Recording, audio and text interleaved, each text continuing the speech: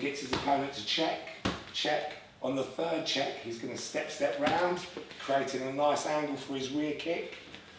Left kick, right hook.